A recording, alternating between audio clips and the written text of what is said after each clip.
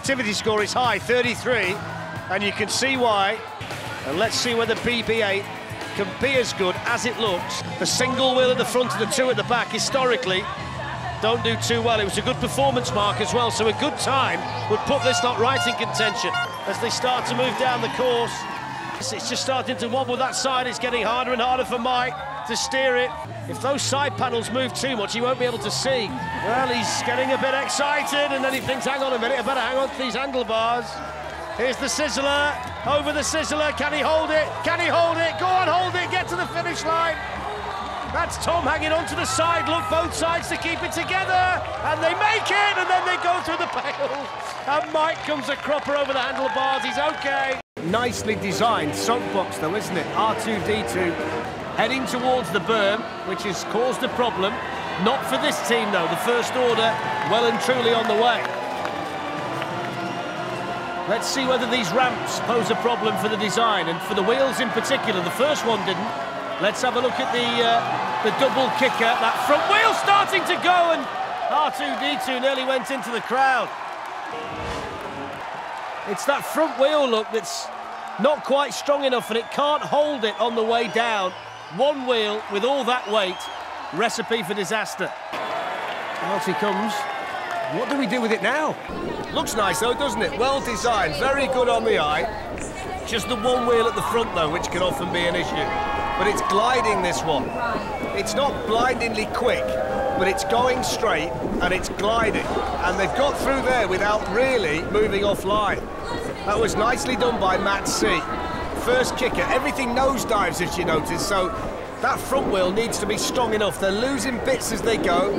It's not really an X-wing now, it's probably some other letter of the alphabet, but I can't quite work it out. Over the rattler, through the chicane, that's okay. This is not bad, 29 miles an hour as well, that's good. The kicker gives you the big air over there, and then straight in there. That's not, not a great deal left of it. But that was nicely done. That was a really good run, actually. Decent scores for creativity, decent score for the performance, and a good run as well, 42.85. Here they go then, the Jedi and the Wookiee pushed down the track. The Millennium Falcon up to warp speed straight away. Here we go. Over the jump, didn't take off. Yoda's face, a picture of concentration. Chewbacca's having a problem with his mask, he can't see at the moment. Through the chicane. Over the gravel pit they go. Darth Vader is happy, that's a good sign, otherwise they could all be in trouble. Wonder whether Darth's using those Jedi mind tricks to help them navigate their way down this circuit, picking up speed all the time. Here goes the Millennium Falcon over the kicker, it's still going as well. Now they've got to get round the right-hander, which they do. Yoda's doing a sterling job here. Over the finish line he goes, it's a fantastic run. 56 seconds with a spectacular skid to finish at the bottom. You don't need me to tell you that it's based on Star Wars. You're going to find out whether youth wins over experience. Oh, no, they don't. oh, no, they don't. Look at this. Watch this. Here we go. Look at that. Oh, bang, cheers. It's now essentially a trailer trundling down the course. A lot of support for everybody. He's going to lose it again. You can see it coming, couldn't you? Crowd are still cheering them on. It's that kind of event, as we know.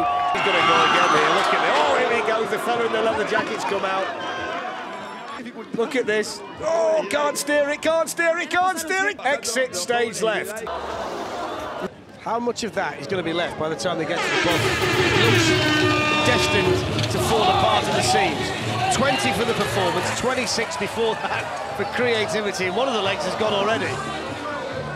This looks flimsy, doesn't it? The wheels, oh, look at this. it's just collapsed at the back, look, it's absolutely gone. No chance whatsoever.